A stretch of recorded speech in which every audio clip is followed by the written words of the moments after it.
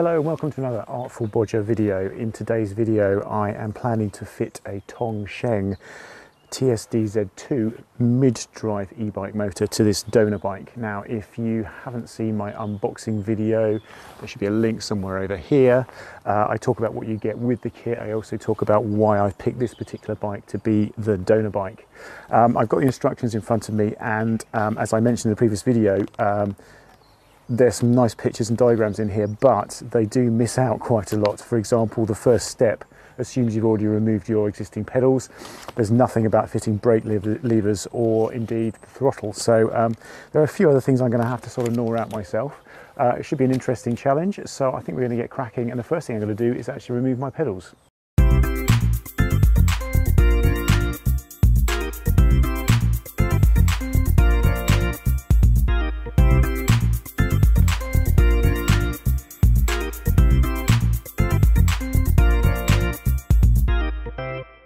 So I'm assuming I'm going to have to remove the pedals as the new kit comes with new pedal arms. Uh, to do that, there's a special tool which looks like this. Uh, I'll put a link in the description. Um, it makes it a lot, a lot easier. So basically, you just do this. This one's come off particularly easily. I can do it now by hand. Now what I would say is that on the other side, it's the wrong way round. So your thread is going to be back to front, which is confusing. So we do it back to front. It actually has come off very, very easily, which is encouraging. Now to remove the um, pedal arms here, or the pedal cranks, you need another tool, and it's this. Again, I'll put this in the description. Sort of thing that if you don't have the right tool, it's almost impossible to do. So first of all, I'm going to take the cap off. I'll just use a screwdriver for that. There we go, it came off nice and easily.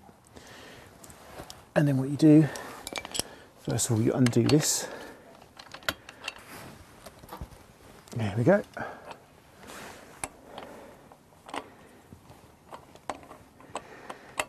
So that's part one of the operation. That bit you can probably do with a standard socket set. The next bit you certainly can't. So I'm going to take this out. And then this is where it gets exciting. So what's going to happen, I'm going to screw this bit into the actual um, hole here, and then we turn this bit, and it, that brings this out, and that pushes the arm actually off the bike.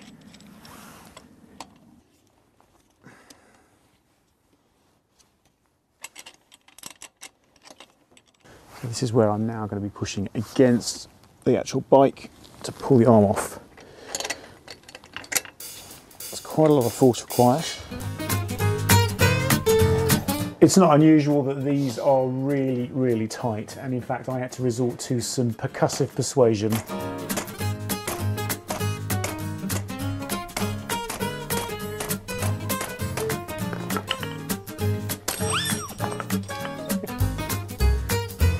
There we go. There we go. One pedal crank. And on the other side of the bike, very, very similar operation.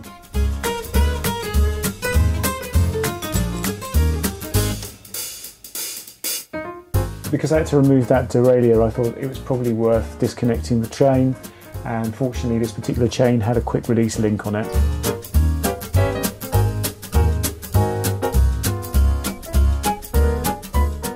Another specialist tool here, I'll put a link in the description. This is to remove the bottom bracket and this is a reverse thread so I am putting it in what feels like the wrong direction. Again a bit of percussive persuasion required and won't be needing that anymore. I also noticed that the way the kit is fixed I'm going to need to remove this kickstand. So I'm removing the cover plate off the motor ready to be fitted and also making sure that I retain the bolts and importantly the washers that go underneath. It was all going so well, I was just about to put the motor on and then we hit a snag. I tried to slide the motor on and I've actually hit a bit of a problem, which is we've got this plastic gear cable guide underneath and it's just its profile is just a bit too high to actually slide the motor on. So I need to somehow either remove it or at least reduce its profile. Uh, now I did actually ask a question to the community and uh, a couple of um, suggestions came back. The main one and the one I probably will go with is to actually just replace this unsheathed gear cable with gear cable housing all the way from the selector all the way to the derailleur. But another suggestion was actually just to cut a small bit of gear housing, actually attach it to the bottom of the bottom bracket here, run the cable through that, and it might be slightly lower profile. And the third option is just to see if I can actually reduce the profile of the existing guide just by using a Como drill on it. So I've got my Como drill out and failed miserably. It wasn't just the plastic, it's also the bolt that was holding it on. It just didn't feel like the right way to go about it. So in the end I decided for plan A using the cable housing, which I've got on order. So I just made sure the cable wasn't in the way and sure enough, it now slid on nicely.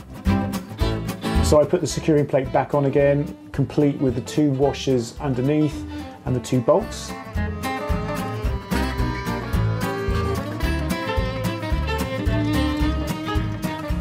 So where I removed the stand, it was now time to bolt what they call the fixed block in place.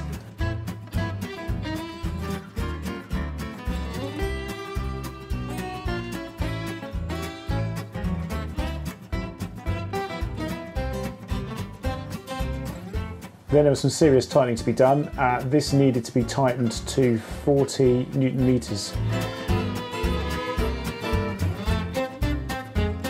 Then I used a special tool they've supplied to tighten the BB axle again to 40 newton meters. Okay, next stage was to put the new pedal arms on uh, and tighten them to again, you guessed it, 40 newton meters. These pedal cranks look identical, however, they're not. The thread where the pedal goes is actually reversed on one side. Uh, so what I did was I went back and checked that I had the right direction for each side.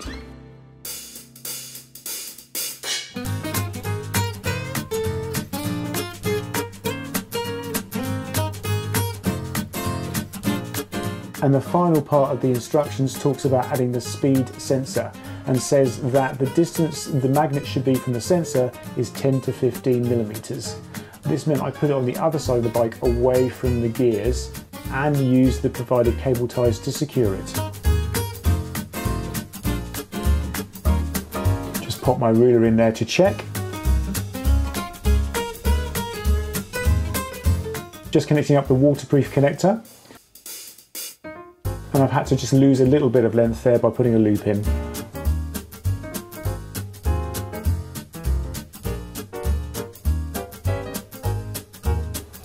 Just neatening things up temporarily with these cutters. I suspect I'll be redoing this when I've got the other cables and the new shifter cable in place.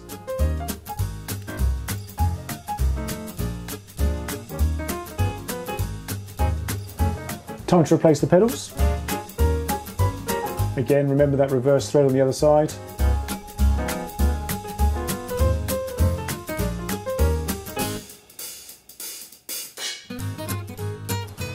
And reconnecting the chain.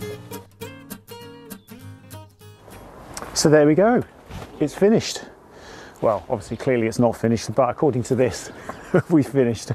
Um, there are some things still to do. Um, first impression so far, though, is uh, I really like the look of it. I think it looks really nice. I like the low profile nature of it. Um, nice bit of space underneath, uh, and this is kind of cool. Doesn't make any any noise when you uh, when you go backwards on the pedals. Um, so yeah, things still to do are going to sort this gear cable out, brakes, gear shifters, screen, fixing the battery, all of that I'm going to do in the next episode. So if you are enjoying this content, please do give us a thumbs up, subscribe, and if you want to be notified when the next episode is available, hit that notification bell. Um, one thing I did want to say is that I don't purport to be an expert in this at all. I'm an enthusiastic amateur, and I'm sure there are people out there watching who know much more than I do. If you've got any points, pointers, tips, anything I've been doing wrong, feel free to put them in the comments and uh, I'll try and incorporate them into the next episode. Likewise, if anyone's got any questions, again, drop those in the comments. Uh, I'll try and I'll do my best to respond and I'll also see if I can uh, address those in the next episode. So that's it. Thanks for watching and I'll see you in the next one.